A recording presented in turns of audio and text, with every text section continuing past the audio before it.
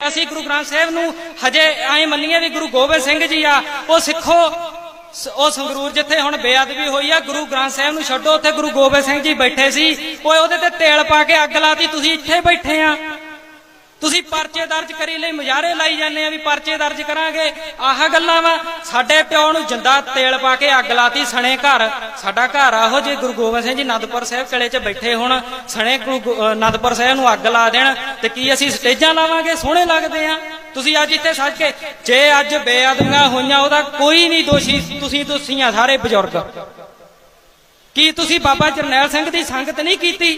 ਤੁਸੀਂ ਜਿਉਂਦੇ ਕਿਵੇਂ ਬੈਠੇ ਆ ਇੱਥੇ?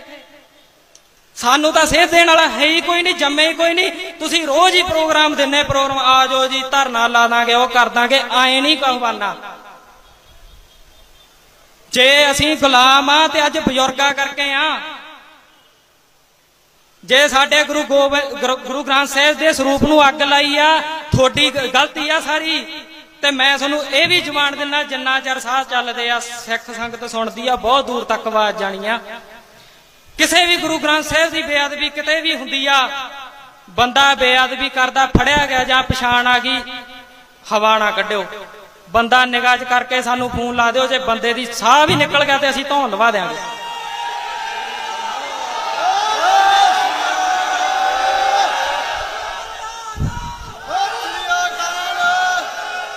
ਸਾਡੇ ਨਾਲ ਤੁਰਨਾ ਸਿੰਘੋ 100 ਸਿੰਘ ਚਾਹੀਦਾ ਤੇ ਸਾਰੇ ਸਿਰ ਲਵਾਉਣ ਵਾਲੇ ਚਾਹੀਦੇ ਆ।